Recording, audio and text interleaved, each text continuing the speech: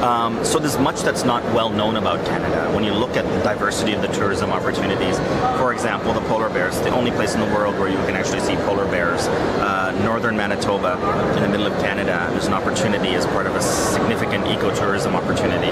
The longest ice skating rink in the world, skating rink, uh, is in Ottawa, the Rideau Canal, when it freezes over. It's over six kilometers in length, um, and that's not well known as well. And of course, you can look at whale watching on the St. Lawrence Seaway of uh, Quebec City. Um, again, not well known. Uh, so when you look at the diversity of tourism experiences in Canada, from mountains to cold weather to warm weather to water and oceans, uh, it's quite quite diverse. And this is why take full advantage of uh, visiting Canada.